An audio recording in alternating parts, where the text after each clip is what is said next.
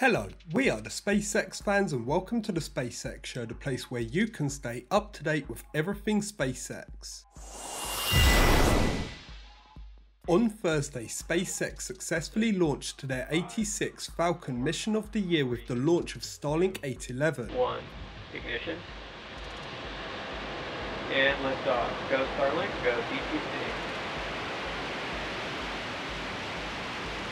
The booster which launched this mission, B-1077, then landed successfully for the 15th time on the drone ship Just Read the Instructions.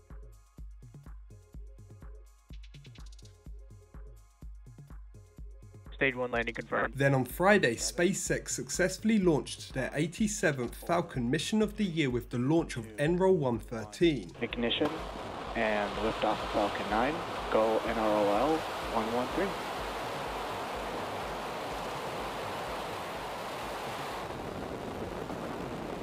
The booster which launched this mission, B-1063, then landed successfully for the 20th time on the drone ship Of Course I Still Love You.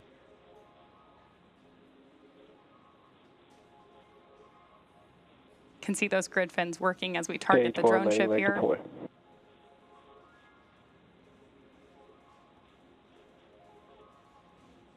Stage 4 landing confirmed. We can hopefully expect to see at least a few launches this coming week. The first of these, the Starlink 96 mission, is currently scheduled for Thursday 12th at 2.45am UTC or Wednesday 11th at 10.45pm EDT. Later in the day and we can hopefully expect to see a customer mission launch.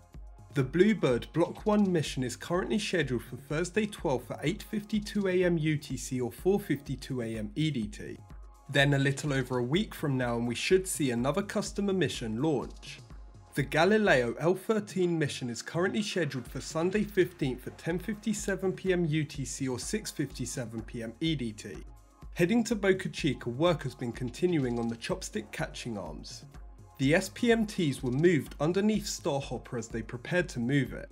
Starhopper was relocated down the road a bit and off to the side. Here's a view of the Star Factory extension now connected to the office building. In response to a graphic comparing Starship to other launch vehicles, Musk posted some payload information. He said max payload to standard Earth reference orbit is actually around 180 tons for Starship when it is fully reusable and around 300 tons if expendable. Latter number is the apples to apples number comparing Starship to Saturn V. Over 100 tons to the Starlink orbit is the operational spec minimum. Musk also posted some information about their plans to get Starship to Mars with and without humans. He said the first Starships to Mars will launch in two years when the next Earth-Mars transfer window opens. These will be uncrewed to test the reliability of landing intact on Mars. If those landings go well then the first crewed flights to Mars will be in four years. Flight rate will grow exponentially from there with the goal of building a self-sustaining city in about 20 years.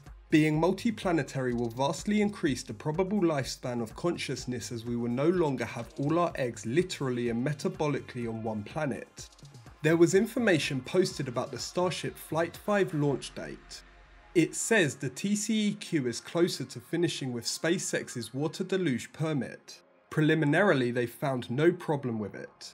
They've opened a public comment period until the 17th of October. Flight 5 will likely be delayed beyond this date, unless they can get a waiver or something. Ship 31's heat shield tile replacement is continuing. As always, I have to say thanks to both Mary, otherwise known as Boca Chica Gal and Jack Beyer for being out there filming the Starbase content. Also thanks to the NASA spaceflight team working behind the scenes on their videos, live streams and other space content. That's it for this episode of the SpaceX Show. I hope you enjoyed the video. If you did, make sure to hit the like button and leave a comment down below. If you want to stay updated with SpaceX info, make sure to subscribe and press the bell icon to get notified when I upload. Thanks for watching and have a great day.